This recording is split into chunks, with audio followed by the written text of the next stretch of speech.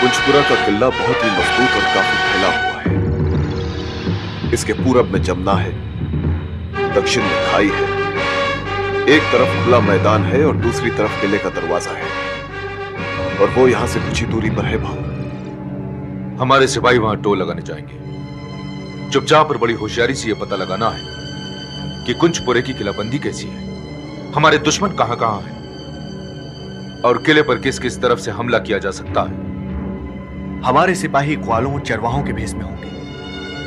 और जानवरों को चराते हुए किले के ज़्यादा से ज़्यादा नज़दीक जाकर देखेंगे।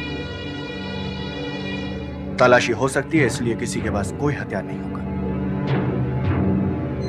उनके साथ दौलतियार बख्श के आदमी होंगे। वो इधर की बोली जानते हैं। इससे किसी को शक भी नहीं होगा कि वो मराठा लश्कर के कौन कौन सी फौज कहाँ कहाँ होगी, ये भी बता दीजिए भाव। आपके साथ तोपखाने के सिपाही भी जाएँगे, जो तोपे लगाने की जगह देखेंगे। और वहाँ से किले और मोर्चे के फासले का हिसाब लगाएँगे उनके साथ कुत्ते और कबूतर होंगे। सधाए, वो जितनी देर आने और जाने में लगाते हैं, उससे फासले का अंदाज़ा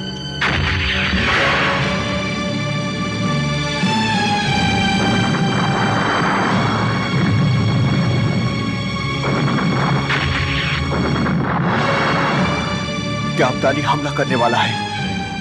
नहीं नहीं। जमुना नदी चढ़ी हुई है और इसकी सतह को देखकर अनुमान होता है कि यह बहुत गहरी है अब ताली के पास किश्तियाँ भी नहीं है।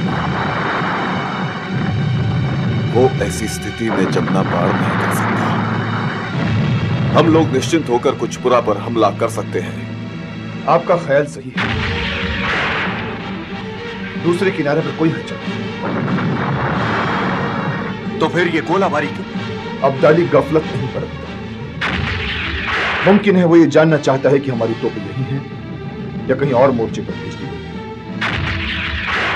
मैं जवाब में गोलाबारी करना चाहूँगा। पर कुंजपुरे के लिए हमें तोपे भेजनी है।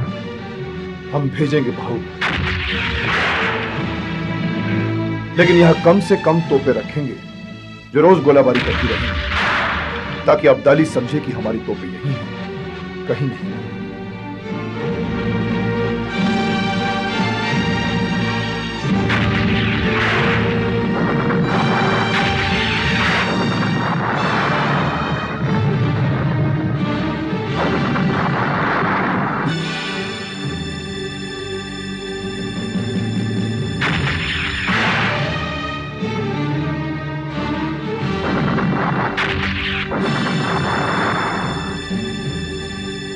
तैयार हो। चला।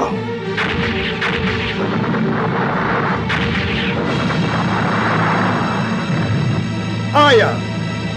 उनका जवाब आया। उनका तोपखाना यही है। यही लड़ना चाहता है वो। नहीं शाह बाबा वो यहाँ नहीं लड़ेगा। कई और से दरिया पार करेगा वो। कैसे पार करेगा? हम नहीं कर सकते। वो कैसे करेगा?